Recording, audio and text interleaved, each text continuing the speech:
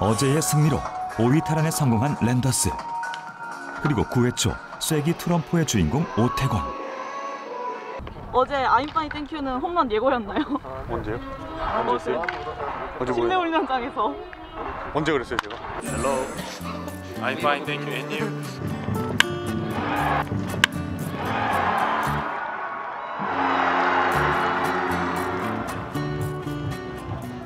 아, 아, 아, 아. 아, 아니야, 아니야, 아니야. 진짜.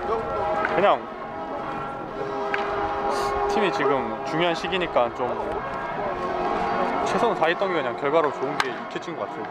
오늘은 어떠세요? How are you? I'm fine, thank you. And you? 지훈이 찍어주세요, 지훈. 롯데 킬러니까. 진짜 저는 잘 모르겠는데 기사 같은데 좋은 수비 많이 하잖아요. 아니 스톰하고 할 때도 하는데 굳이 이게 들어갈 때 부각이 되는 어제 경기에서 최지호는 공격에서도 동점 득점과 적시 2루타를 기록하면서 롯데 킬러의 면모를 과시했다. 더블헤더 1차전 경기가 시작됐다. 랜더스의 가을 야구를 응원하는 모든 이들의 간절함이 뜨거운 응원 열기로 전해지는데 랜더스의 타선이 경기 초반부터 터졌다. 1회 초 2사 1, 2루 득점 기회에서 어제의 홈런 타자 오태곤이 적시타를 때려내며 선취점을 뽑아냈다. 3회 초 기사가 부담스럽다던 최지훈이 자신의 이름값을 방망이로 증명해냈다. 데뷔 첫 말로 홈런을 시원하게 날려버렸다. 그리고 7회 초 최주환이 투런포를 쏘아올리며 승리에 쐐기를 박았고 9회에는 이흥년이 투런포를 쏘아올리며 대승을 자축했다. 14대 4로 대승을 거둔 랜더스는 4연승을 달리며 승률 2모 차이로 두산을 제치고 4위로 올라섰다. 사직 야구장에만 오면 맹활약을 펼치는 최지훈.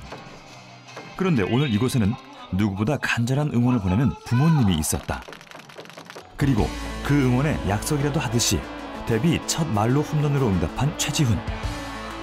그 순간을 직접 지켜본 부모님의 마음은 어땠을까? 모르죠. 평생 처음이니까요. 야구 13년 넘게 하면서 처음이죠. 이렇게 중요한 순간에 말로 홈런을 쳤다는 게 너무 기특하고 감사하고 지훈이 엄마가 그렇게 하고 울고 지훈이 야구 인생이 싹 지나가도 필수는 꼬맹이 때부터 해가지고 지금 이 순간까지 아마 지, 뭐 지훈이 야구 인생이 오늘 아마 최고 겁니다. 프로 2년차 최지훈은 빠르게 자신의 자리를 찾아가고 있고 그만큼 팬들은 더 큰 응원을 보내고 있는데 오늘도 사실은 뭐가 행복했냐면 이 지훈이 유니폼을 들고 계신 분들 앞에서 말로 홈런을 쳤다는 게 뭔가를 크게 보온한 기분이고 그래서 너무 기쁘고요. 고마워. 사랑해 지훈아. 롯데와의 3연전에서 2승을 거두며 랜더스는 공동 5위로 가을 야구 최후의 방어선을 사수했다. 어, 어머니 우셨대요. 때리는 거 보고. 저도 울고 싶습니다. 2차전에 너무 돼가지고 이길 수 있었는데 부모님 오신다면 뭐 두 경기 다 잘했어야 되는데 아쉽네요. 어머니 한마디. 아프지 마시고 건강 잘 챙기시고 걱정 좀 덜어놓으시고 편하게 사셨으면 좋겠습니다.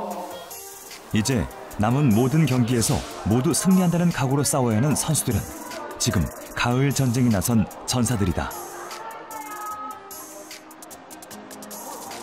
아들에게 말 한마디 건네지 못한 부모는 쉽사리 자리를 떠나지 못한다.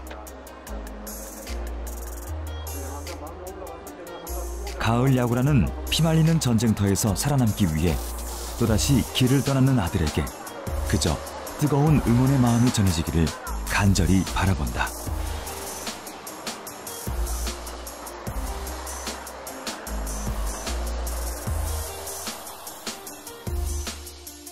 분명히 한 경기 무조건 이겨야 되는데 죽으려면 다 이겨야죠. 한 게임 한 게임 더 중요해서 오히려 더 좀 집중하고 있는 그런 시기? 네. 찹찹한 가을 냄새를 맡으면서 야구를 좀 더 하고 싶습니다. 저는 말했어요. 11명이 다 나가겠다고. 다 나가서 무실점 다 던지겠다고. 해야죠. 최대한 점수 안 주도록 노력해가지고 이제 팀이 좀 좋은 순위로 이제 올라왔으면 좋겠습니다.